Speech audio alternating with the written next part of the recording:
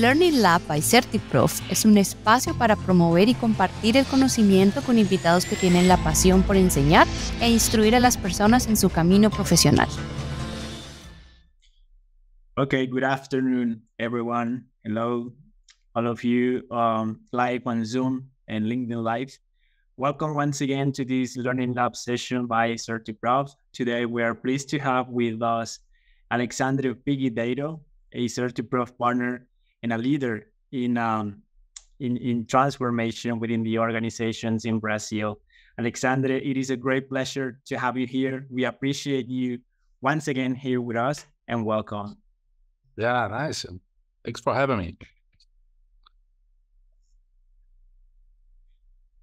Thank you. Just so you know, the to all of you, the attendees, we're going to be answering all of your questions during this session. We're going to be talking about Agile Coach and how to properly implement it within the organizations and lead the change. So if you have any questions during the session, don't hesitate to leave them on the chat and we'll be addressing those questions properly. So welcome. Nice. So um, let me let me share my screen just a second, please.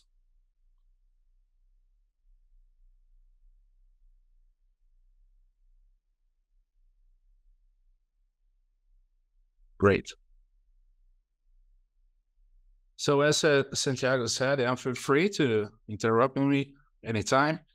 I don't want to be here uh, as a class teacher. Yeah, we are here to exchange experience. Let's talk a little bit about Agile Coach. It's a great opportunity to talk about and see what we can do in order to bring the agility concept to companies. Yeah, uh, just to introduce myself, my name is Alexandre Figueiredo. I'm from São Paulo, Brazil. I don't know if you know this. Uh, our state uh, here in Brazil is a huge state.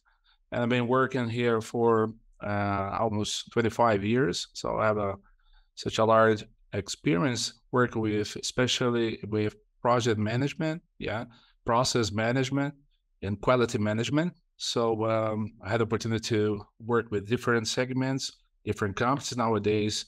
Um, I run my own company yeah, since 1913, uh, Figueiredo Consultoria Empresarial Limitada, located here in São Paulo, where we uh, work with consulting, with training, with implementation of uh, systems, uh, collaborative uh, platforms, uh, applying private and corporate trainings. Yeah.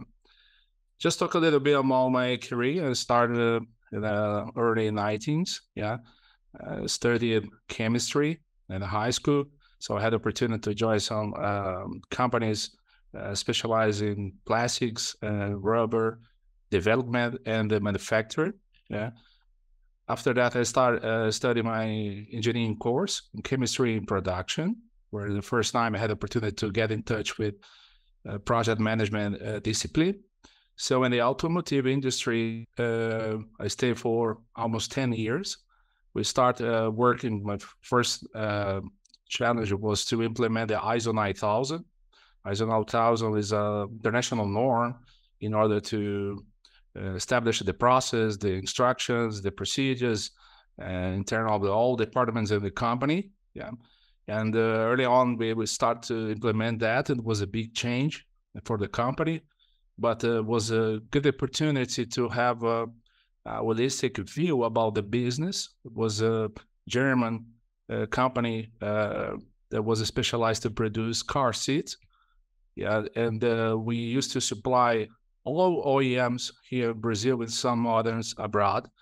And uh, the company in that time used to have something around 3,000 employees. So it's not such a small company uh, but it was a great opportunity in order to understand how we change a company yeah from a traditional point of view in order to have at least a process approach yeah and implement indicators uh, kpis to implement a new um, philosophy of working uh, some methods from uh, toyota uh, system and so on.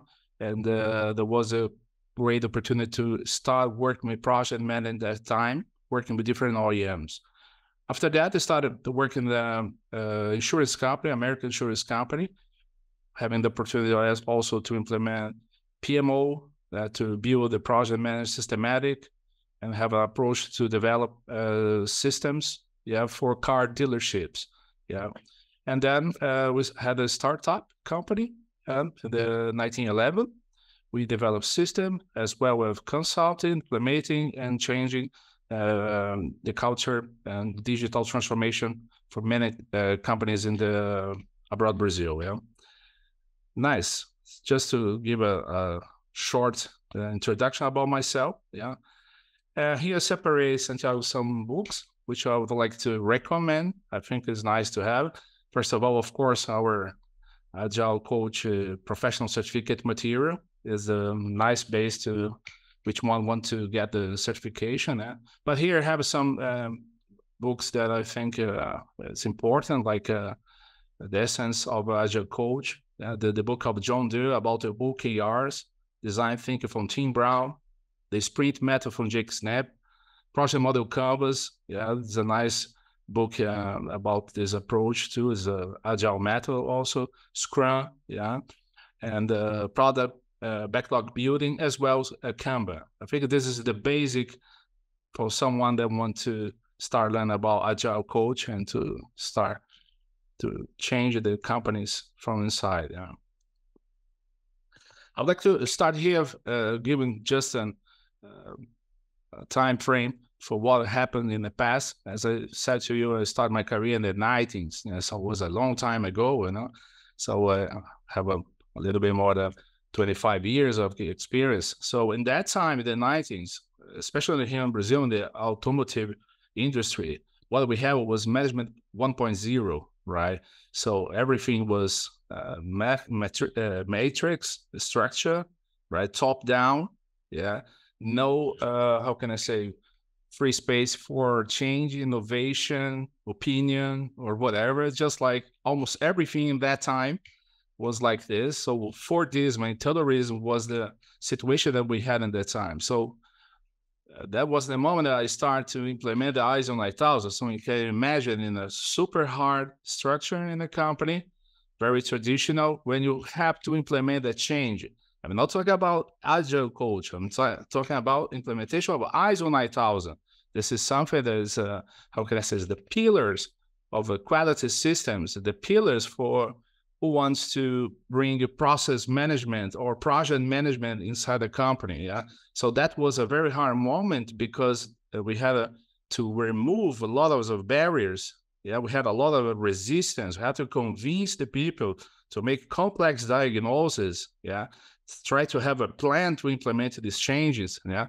So that was a, a, a big um, challenge to implement the first uh, certification. Of course, later we had a uh, after ISO 9000 we have ISO 14000 about environment. we, we had a QS 9000 uh, American norm. We had a um, VDA 6, a German norm. After that, ISO TS 16949, which was a how can I say a mix between ISO 9000 is in this uh, automotive norms. So it was a very hard moment and competitive moment because uh, the companies here in the Occident will try to implement the benefits of Toyota quality system. Yeah. So the Japanese industry, they were much ahead of, our, of us here. So we are, were trying to implement these uh, norms in order to improve the quality of the product and how to aggregate value to our clients. Yeah. So finally, we could uh, climb to the management top uh, 2.0.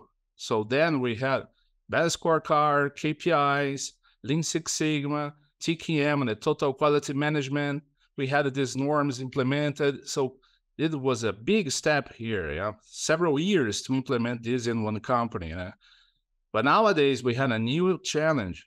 Yeah, so that's why we are here to talk how to take this step from management 2.0 and sometimes I can tell you that majority of the companies are still in the 1.0. So how to jump from here to here is a big challenge. Yeah. And um, every company I go, yeah, due to my uh, consulting business or due to trainings, we have this challenge because the companies think they are in the management 2.0, but they don't. Yeah, especially companies that are uh, so traditional. Yeah, so we have to prepare the environment in order to bring new approach like uh, self-organization or to squads.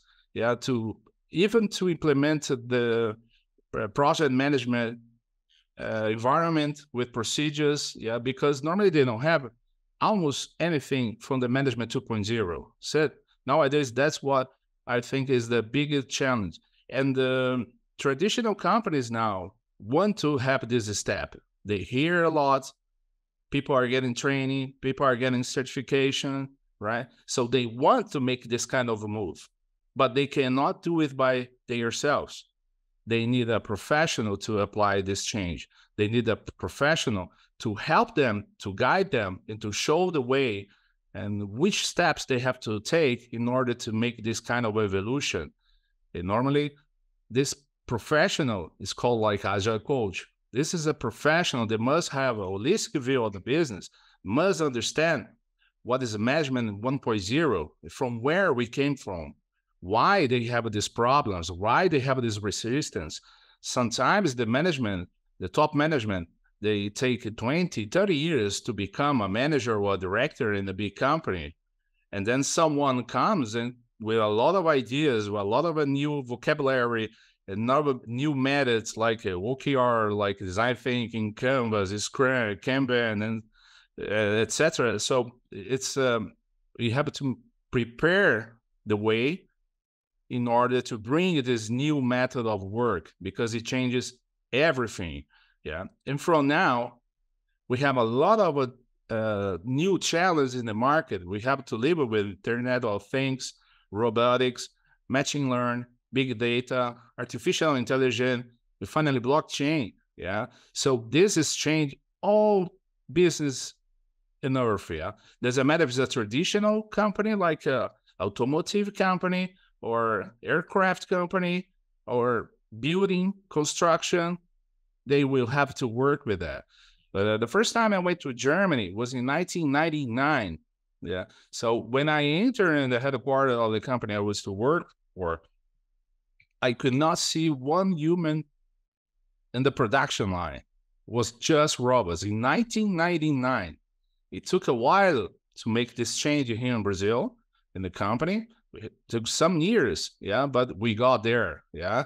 Not so automatically like in, in Germany, but we had a lot of robots. Yeah. Nowadays, we are not only talking about robots in production line, we are talking about process, administrative process. Yeah. So the majority of the, the projects I get as a consultant is regarding systematization of a process, systematization of a project. Yeah. So uh, this is a big challenge. And how to incorporate this new approaches, these new technologies, and considering that we are coming from here, management 2.0, 1.0. If you are talking about a startup, this is easier because you can bring some new uh, methods. They can bring this new uh, approach, yeah. But for, uh, on the other hand, they don't have the background for the past, yeah. So it's a different type of difficulty, yeah. But that's the situation we have nowadays. Yeah. And how to live in this environment traditional project management, agile project management, traditional business, agile business. This is how we have to focus our efforts and learn a lot in order to support these companies to take a, a different step. We have a we have some basic difference between these approaches. Uh, for example, in agile, we are focused more in people in a waterfall, a traditional approach for project management, we talk about process. Documentation, minimal required. Why? Because we want to work in an um, uh, empirical environment. So we don't have a defined scope. We will develop a backlog. We will develop our user stories. We will develop our product according to the values that we want to add to our clients. Yeah. In the traditional approach, we are we pass months make a planning. I remember my projects used to have uh, a 10,000, 15,000 tasks. Yeah. So when you finish your planning, you finish your Gantt graphic, you finish your scope, your risk analysis, your cost analysis, uh, your time plan, and all of the plans related to your project, the last thing you want is a change. Yeah. So it doesn't matter if the client, if the customer, if the user want to change, you don't want to change because it's going to be a mess to replan everything.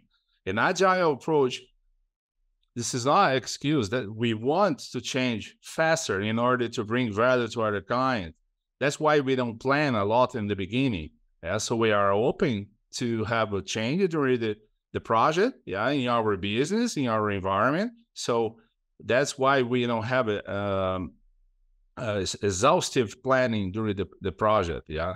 So here we have some uh, considerations in regards of organization, how to organize it. Yeah, it's completely different than the uh, centralized and the mat- metrics organization, which are top down.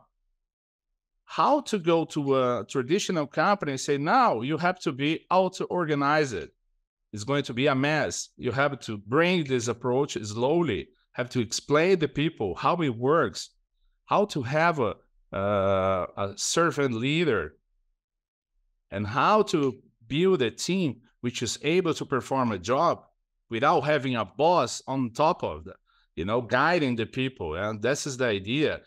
Management style, decentralized, yeah, where we have in a traditional business, normally is absolutely centralized yeah so we have a very rigid uh, structure yeah so these are some examples of the difference between those so normally uh, in the companies you will find this structure to bring this structure to this structure you know is a big change in the culture and when we talk about people nothing is easy yeah we have to confi- con- convince people to change their mindset to change what they're thinking to change how they work in a daily basis. Yeah, and sometimes the company is very old. They have a procedures, they have a internal rules and the methods of work. So how to bring this situation to this situation? Yeah. You can see, for example, the behavior of a traditional organization is a complete matrix structure. Yeah, it's top down. Normally, the objectives, right? Normally, all the direction, uh, the resource, and so on. Yeah. So we stop down. And here in the agile organization is a we have a collaboration and the cooperation. Must have a servant leaders in order to provide direction to the teams, right? So this is a big challenge. That's why the agile coach uh, must uh, step forward and try to support the company to change in regards of a project management measurement, uh, normally we have a waterfall approach. Yeah, there's a sequence since the requirements until the deployment of the product. Uh, despite the fact that uh, some companies can work in waves, they don't work straight in a line. Yeah, my my project was not based on that. Yeah, even the early 2000. Yeah, we used to work by waves, something very similar to Scrum, but we didn't know, didn't know how to call that as a Scrum, yeah, because especially here in Brazil, But I can tell you that Scrum is, you know, more popular in 10 years ago and not in that time. But uh, the intuition, yeah, and how you, you you manage your project, normally if you can work by waves, even if it's a traditional project, you have a better results. Imagine when you have a completely uh, empiric and uh, evolutionary project inside your company using, for example, uh, methods like uh, Scrum. Yeah, and this is the difference. In the traditional uh, team, we have a normally a project manager. Is a team leader. Is top down. He represented the the C level. Yeah and uh, all the colleagues that work in the project needs to follow the rules and the direction of this person different in this situation agile teams we have a self-organized group, and we have a servant leader in order to facilitate their job. We can have, for example, in Scrum, a product owner, which will bring the direction, uh, we will bring the desires of the stakeholders to the team, support in order to build a backlog, but how the product will be uh, developed is a decision by the team. So it's a different approach comparing with this situation, which is top down. Yeah.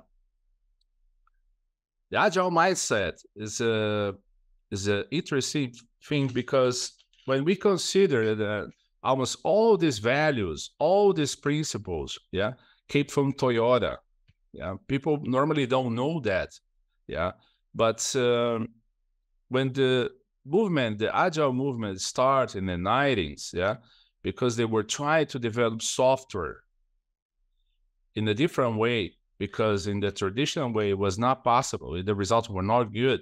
And I faced that also when I tried to develop software for the first time using my traditional uh, means, my traditional methods. Yeah, uh, I had to use, for example, Kanban. I didn't know Scrum, so I tried to use the Kanban. It was easier for me to write the specifications, the requirements I want for my uh, developers. Yeah, and uh, I use the Kanban in order to track how the activities were performed. Yeah, I didn't know that, but I was starting working like a um, agile method. Like for example, Scrum. We used to have some cadency. We used to have some meetings, intermediate meetings. We used to have a weekend meetings. Yeah, and then once a month we used to have a project review. So very similar to the Scrum approach. And I didn't know that because it came to me from the Toyota way or quality system way to work, as well as a Kanban approach, and the lean manufacturing.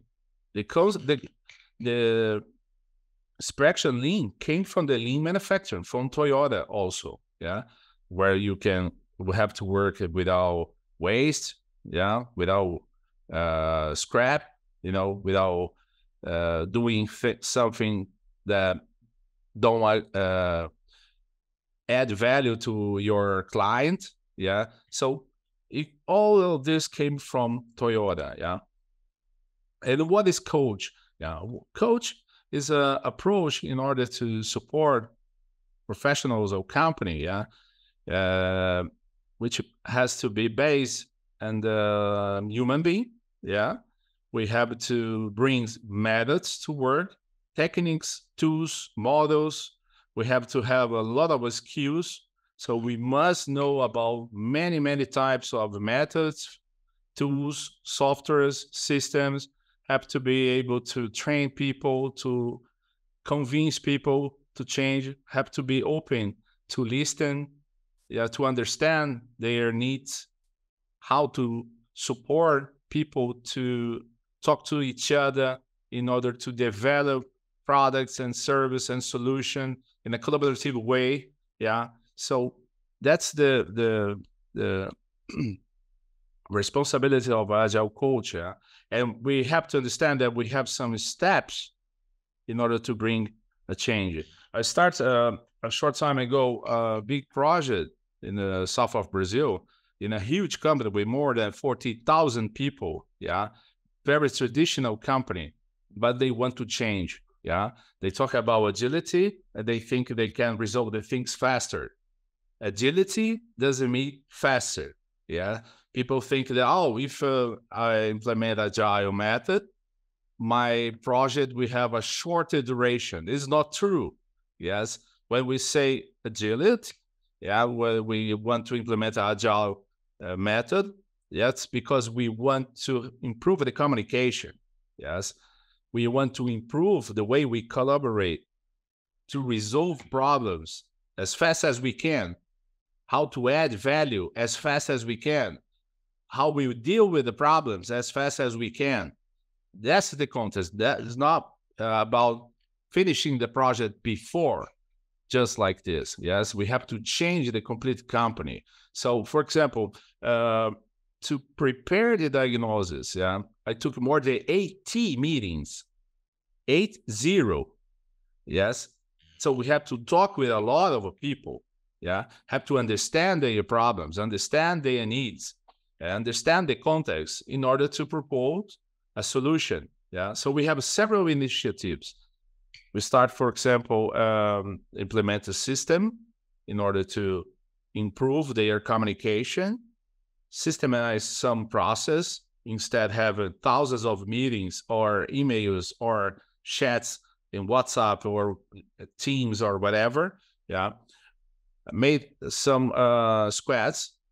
We create some war rooms in the company. We implement the PMO in the company. We train the people involved. So many, many initiatives. Yeah. Of course, in the beginning, we have a what?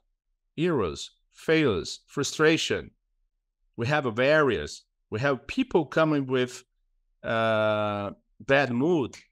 People that don't want to change. People don't want to work in a squad. People don't want to work together. They want to stay in their department. They want to keep their matrix structure. Yeah because they don't want to change. Yeah, it is a big problem because they, the company wants. So we have first the maturity of the company. We have second the maturity of the people, and the maturity of the departments. Yeah. So all of this bring us to errors, failures, and frustration. Yeah. But we have to learn with that. We have to learn with these mistakes. We have to talk to people to convince that that okay, we respect their needs, we respect their situation, but they have to change, and we are there in order to support them to go through this process. Yeah. So after that, we can bring a new practice, a new view, a new approach, a better communication. Yes. And bring light to a very normal dark situation where you don't know the objectives, you don't know the metrics, you don't know what the objectives for the projects, for the process, what they have to develop. Yeah. So when all these people are organized in squads in a single place, yeah, they can talk to each other fast. They can resolve fast the problems. That's what we want. A fast answer for the problems. Yeah. So normally what we have is like this. We have resistance. We have chaos. After that, we can come to a conclusion that the change is needed. and We are showing the way. The agile coach needs to show the way in order to bring transformation. Yeah. After that, we have integration, and then we move forward. Yeah. Say Santiago. Thank you, uh, Alexander. We got a question from yep. Oliver Cursino. He he says, as an agile coach, what tools can we use to attack those frustration and learn from our mistakes. Is there any specific tools that we can use? Well, we have to we have to uh, how can I say uh, engage people. This is something very difficult. Yeah? How to engage people? Normally, uh, if you bring all of them to um, exercise, yeah, we show them the situation we have today and what we want for the future and ask them to bring the solutions, the steps. What's the steps number one, number two, number three, and let they give their opinions, give some post-its, yeah, let them exercise, put in the wall, make a votation, elections, you know, give some uh, spots so in order they can express their needs, yeah, and then all together, all the people will decide what is better. So it, this is not something that comes from you. It comes from the community. Understand what I mean? Because we, we have to understand that as an agile coach, yeah, you are a facilitator. You are supporting them to cross this way, yeah, this journey, right? But they want to come to a conclusion that they want to cross you know you show the door yeah so when you bring these um, initiatives when you have this kind of uh, organized brainstorm or perhaps a design thinking support them to build it by themselves, even when you want to influence the result. I don't know if I'm clear, you know, you you know what they need, yeah. So you try to influence in order to make they yourselves to come to this conclusion, to the conclusion that you want, yeah, because you know the journey, yeah. But they are inside of the problem. Normally, when you are outside, you have a better view, yeah for example, the last uh, three years, I I believe I passed for I don't know fifty companies, fifty different companies. It's amazing. Yeah, doesn't matter the segment, doesn't matter in what product they they work, or it's a service, or it's an industry, or it's a bank, or it's an insurance company. It doesn't matter. They almost have always the same problems. They have a problem with communication. We have a problem with requirements from the client they have a problems with delays. They have a problems with project budget. Yeah, they don't know uh, how to work together as a team. They work in different departments, so everyone have their own uh, interests. Yeah, so when you show all this and say, okay, you have the problem. Now we work together and make this withdraw how to come from the point A to the point B and let them thinking. They give their opinion. Yeah. Uh, in a kind of a democracy, but it's not a democracy, you understand? Because you want to guide them through a way to bring change, you know? I don't know if uh, I was clear. Yes, and uh, by the way, we we received another one. Ah, great. Uh, for example, when the transformation is not completed in terms of, for example, we were talking about management 1.0. So that evolved into management 2.0. When that doesn't happen, do you think it has to do with all the employees within the organization or just those on the top, the decision makers? Well, telling the truth, you never finish the transformation. Yeah. We will never stop transforming anymore. Believe in me. You know, I live in a time when I started my career, we didn't have a mobile, we didn't have a internet, we didn't have a social media, we didn't have a blockchain, we didn't have a artificial intelligence, we didn't have anything. You know, nowadays, um, we have big changes in perhaps six and six months. You know, so we will never stop changing. So, uh, of course, when we want to bring a company from management 1.0 to 2.0, you know, in this case, it's top down. The change doesn't come from below. Perhaps you can try. I tried that. Yeah, the company uh, reacted because it was someone from below ch- tried to change from the the people in the top. So the tribe, for example, in 10 years, uh, try to fire me 10 times, you know. So at least once a year, they try to fire me. Yeah. Because the directors used to react.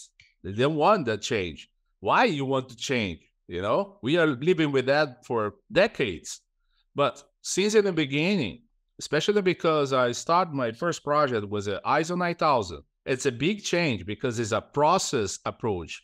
A process approach is different than a department approach because you have a process, like for example, a commercial process, right?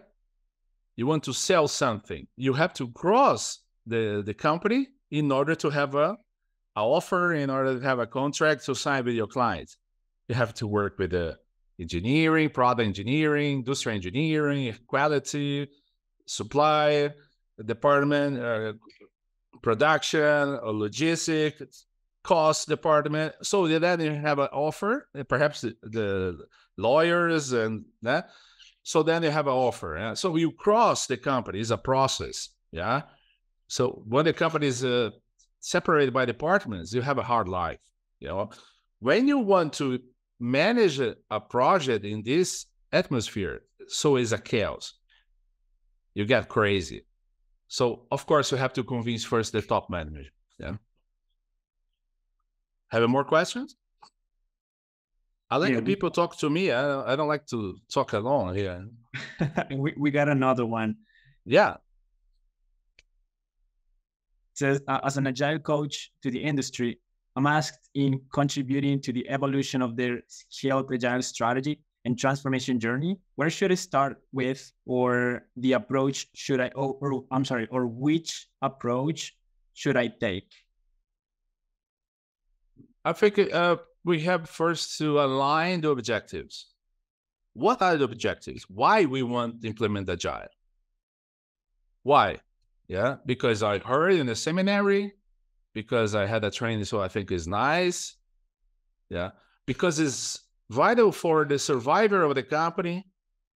The marketing is changing, the client is changing, right? Why we want that? If we understand the whys, yeah, perhaps you have a more eh, strength. You know, you you don't need to convince people as agile because they know the answer. And this answer must come from them, not from you. Because telling the truth, if you normally when I go to a company as a consultant and uh, I want to help them to resolve the problems, sometimes I don't say that, oh, I will implement a new method. I will implement uh, the OKR. I, I don't say that. I will implement, for example, Scrum I don't say that, you know. You don't start with naming stuffs, you know. You start by the pain. What's the pain? Why they are calling your your help? They have to tell you. And then you say, okay, you have a pain, you have a problems. As every company, every company has problems, right? So they have a problems. First of all, they have to accept the problems. Second, they want to tell you what they want. What's the solution? I want less complaint. I want to deliver a good product. I want to survive in this crazy market that we have today. What we want, you know? So then we start drawing the steps until we get there. So we will step the first step. Okay, let's establish the objectives. What are the objectives? And what are the metrics? in order to prove that I, reached that objective. Everybody needs to agree with that. Okay, nice. Then we start doing the diagnosis. As I said, it took 18 meetings, 80, 80. It took me a long time, a lot of patience, talking a lot of people. Yeah. Each meeting, five to 10 people talking to me about all the problems, the situation. And I start to draw all the process. The formation comes from here, go to there, who approves, who needs to be aware of that. What's the flow? When you draw all the flow, you get an agreement with that because normally when you want to improve a situation in a company, you don't change the flow, the process first, you know. Better, you systemize the problems they have. Understand? Because normally this is the chaos because it, the process are not systemized. Yeah? So first of all, you fix that, and then when they start to learn about their difficulties, their problems, we indicators, you know, we KPIs and so on, and then you can evolve step by step. I'm talking about a company that don't have anything, you know, which is normally is the situation, right? Thank you. Yeah, nice. So the coach, yeah, must be committed with some things. Yeah? I'm driven by your goals. As I said, you have to establish the goals. The client, the company, the top management, they need to tell you the, the, the goals, not you. If you come from outside saying, okay, the goals is like this, people will not follow you. I am your guest, you know, the people that's inviting you to support them. You know, you're not there to force anybody to to do anything. Yeah, share knowledge. Yeah, you are coming from outside to bring knowledge. So as I said, in the last three years, I'm working 50 different companies. Yes, I have I don't know 25 years of experience. I'm coming to bring my knowledge. We can exchange knowledge. We can exchange experience. But normally you're coming from outside. If you are coming from inside, there are some advantages and perhaps some problems because you are involved with the problems in, in inside of the company. Yeah? respect learning. Do not uh, know everything. Yeah, you're always learning because you entered the other's house. You know, you have to understand their context. Uh? If if it's a big company, yeah, and they are in the market for a long time, you have to respect that. You know, they come to this situation to today, so they fight for their market. You know, they have a good product, but they want to move forward. So you have to respect that also. Yeah. Offer compassion. Yeah. and look for award. Yeah. In order to add value to the situation. Yeah. Some values and princip- principles of culture respect, value, transparency, collaboration, humility. Yeah. I can't tell you much more, you know, but uh, I think this is the basic. Yeah. We don't know everything. Yeah. But we can add value to the company, to the teams, to the people to bring them from the point A to the point B. Yeah. That's the idea. Yeah. Coach, mo- uh, most important habits and adv- uh, advice uh, lead with the example, keep balance, set a realistic pace, take care of language, act as a server leader, yeah, learn about yourself. So as I said, we cannot judge anybody. Yes, we cannot judge what they are doing. As I said, if they are in the market for dozens of years, yeah, we have to respect that. Yeah. So that's because they have a good process. Perhaps it's not documented, they are not systemized, but they have a process, they have a culture, they have a product, we have a service. Yeah. But we want to support them, you know. So uh, once I uh, I took the direction of a group of car, de- uh, car dealers in the south of Brazil, and, and I came from São Paulo to the south of Brazil, and uh, there are big difference in regards of uh, culture, just because of the state. Brazil is a large uh, country, yeah. So um, when I start work there, people used to tell me, "Oh, you don't understand our lives here because they are from Sao Paulo, you know. So we have to consider these cultural aspects also. It's not just the company environment, but you have the place, perhaps you have the region, the city, the state, or the country, different country. You have to consider about this difference in the culture. Yeah. Of course, we have to have some uh, fundamental uh, competencies. Yeah we have to understand the business we have to perhaps understand the product yeah we have to know how to deal with people we have to know how to share knowledge you have to know how to teach people to support them to pass by this transformation yeah you of course have to know about the agile methods you have to know about tools systems techniques, artifacts, you know, everything that is necessary in order to implement this difference uh, inside of the company. Yeah? So then we have a process. Yeah? As always, it's a project. You know, you hum- you come from a point A, and you want to reach the point B. And what's the point B? It must be agreed. The people must understand what they want. Yeah. So we start by a diagnosis. Yeah. Then we get an agreement. They must agree, everybody, top down, you know, everybody must be aware about what we want to achieve. Yeah. And then we have to work as a project, you know.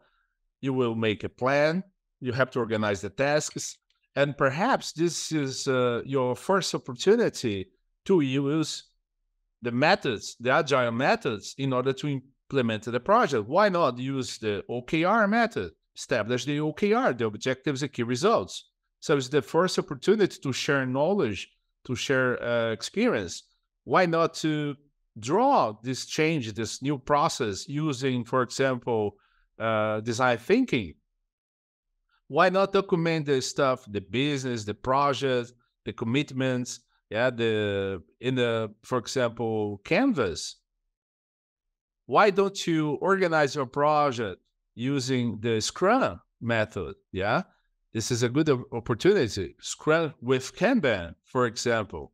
it's a good opportunity to uh, start working uh, in the change in the company. Use agile methods. Yeah, you can use also the agile coaching DNA. is a great, great uh, guide. You know, because here you can almost track what you have to take in consideration when you want to implement an agile uh, culture or uh, agile project in the company yeah so what are the barriers how you work with that? The compet- uh, competencies development awareness ownership you know? So we start to understand the context you have in order to improve the situation. But everybody is in a different moment of this journey. Yeah? A big company, yeah, you have people they are waiting for the changes, you know. Some people are okay, they are walking, yeah. Some are crawling, you know. They are in the beginning of this journey, in this process. Yeah. You have a people in different moments. Sometimes you have a people running. Yeah. And normally nowadays, those which are running or flying, they leave the company because they don't want to live in an environment that don't want to change anymore. Yeah. So how to hold, you know, these talents? Yeah. We have to enjoy the fact that we have a people with different maturity to support us to change the company. Maybe they are the agile leaders that can be used inside of the company. Working with the agile coach, you know, in order to bring these colleagues which are here in this situation, you know, to a different perspective, to a different situation. Yeah? So, of course, alone, Agile Coach is not able to change a company. Yeah, you have to have supporters. Yeah. So, if we can work with um, some methods, yeah, don't try to do everything at the same time, but if you can start with some methods. And my recommendation is to use these methods uh, in your implementation. Yeah. So establish the OKRs, make a design think to establish the process, you know, what you want to change in the company, document everything in the canvas and different type of canvas we have. Yeah.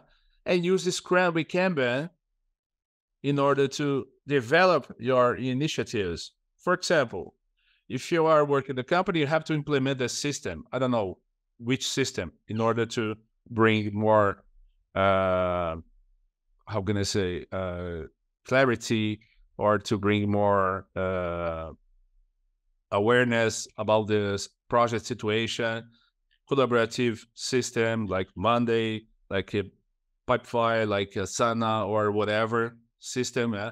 You can use systems, yeah, to implement this change to support you, and you can use those methods in order to teach people how to work with that. Yeah, that's why I create this framework which is clear. Yeah, so we start everything with a OKR. So you should not have a project, for example, your company, if it, it's not provided by a OKR. It's normally the companies that you have uh, several meetings. At every meeting, you have dozens of uh, projects. At the next meeting, nobody remembers anymore the projects we're talking about because nobody is the owner. Nobody cares about that anymore. They just want to put more projects on the table. Yeah.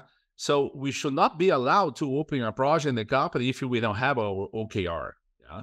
So okay, we have a OKR is uh, uh, is a way to uh, protect the company from bad ideas, you know, from top management or whatever, yeah, because they are allowed only to have a three or four OKRs in a year, yeah, so they have to think a, a lot before establishing these OKRs.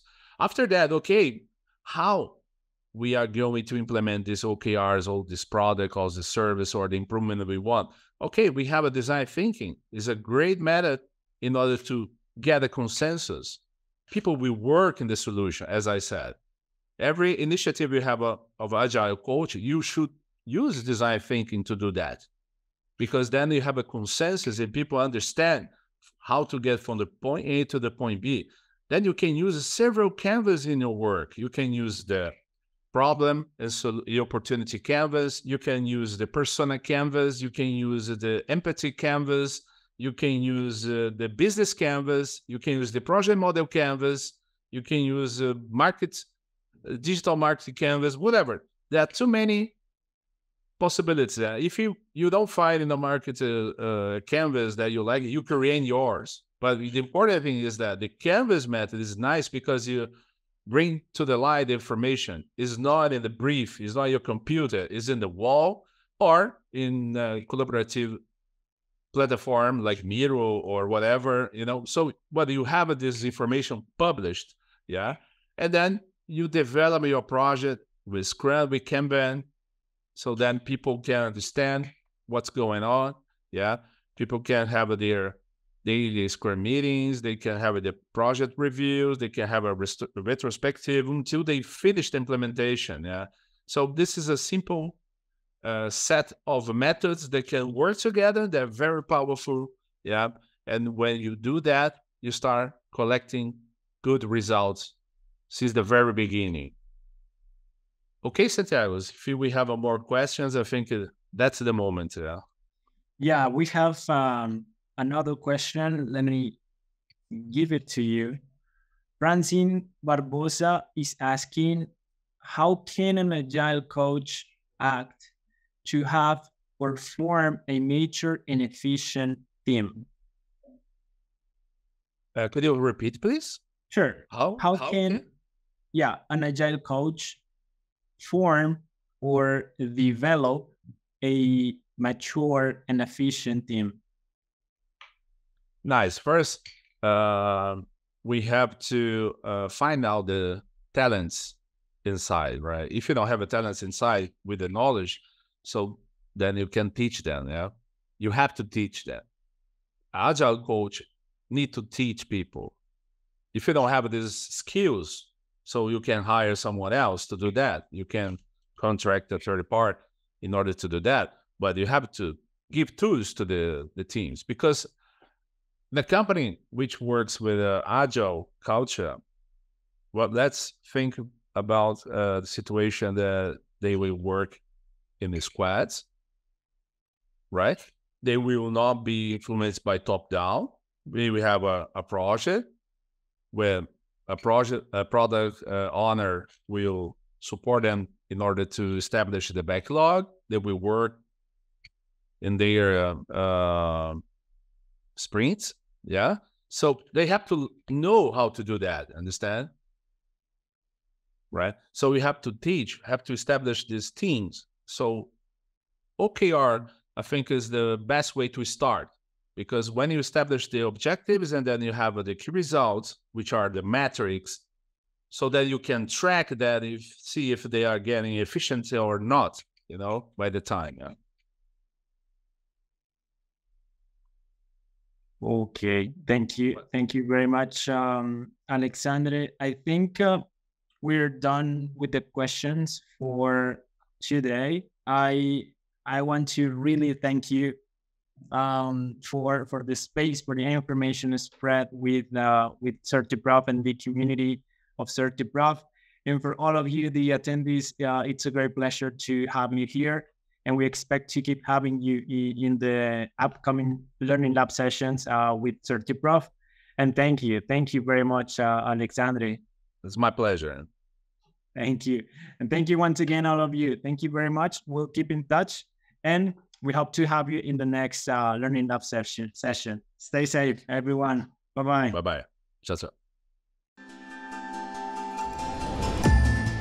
Agradecemos a quienes nos acompañaron en este espacio y esperamos que haya sido de inspiración para promover el conocimiento y crecimiento profesional de nuestra comunidad.